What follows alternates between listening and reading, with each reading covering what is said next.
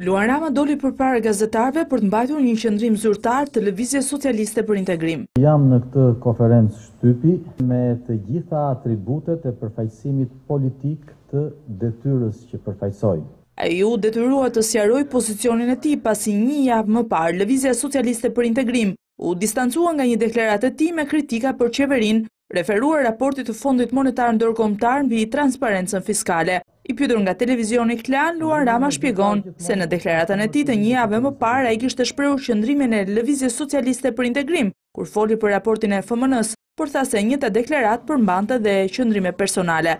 Kam thënë për episode të veçanta, mendimi im apo qëndrimi im është ky dhe kam cituar qëndrimi që unë e ndaj nga qëndrimi im si përfaqësues politik i LSI-së. Distancimi i LSI-së me anë të nënkryetarit Petrit Vasili nga deklarata e Luan Ramës shënoi një rast të rrallë në politikë, të cilit i shtohet dhe qëndrimi i fundit i Ramës, sipas të cilit, në leximin e një deklarate të një partie politike, lexuesi mund të ketë edhe opinione personale.